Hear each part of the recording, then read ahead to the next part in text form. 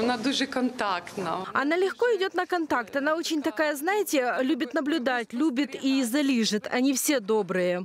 Четырехлетняя лошадка Покорная приехала из Одесской области. В этом году впервые должна была участвовать в соревнованиях. Планы изменила война. Из-за постоянных обстрелов тренер Аня начала искать возможности эвакуации лошадей.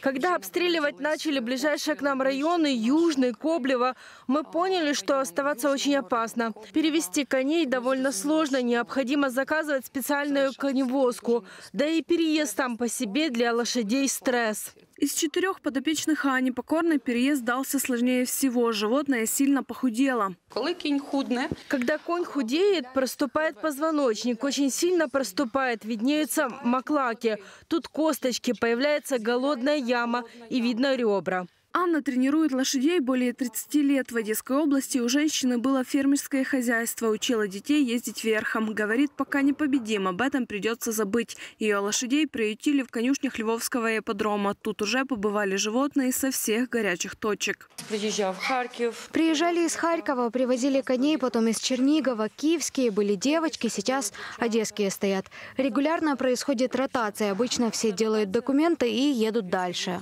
Анна очень рада, что ее животные не пострадали. Она видела фотографии последствий зверств оккупантов над лошадьми в Буче и Гастомеле. А Коней просто розстрілювали в дініках. Коней расстреливали прямо в денниках, заходили и расстреливали. Для чего? Непонятно. Некоторых коней убивали только из-за их имени. Просто не понравилось имя. Сейчас Анна почти все время проводит с лошадьми, так как недавно убили ее мужа. Он воевал в АТО и 40 дней назад героически погиб, защищая свою родину на территории Николаевской области.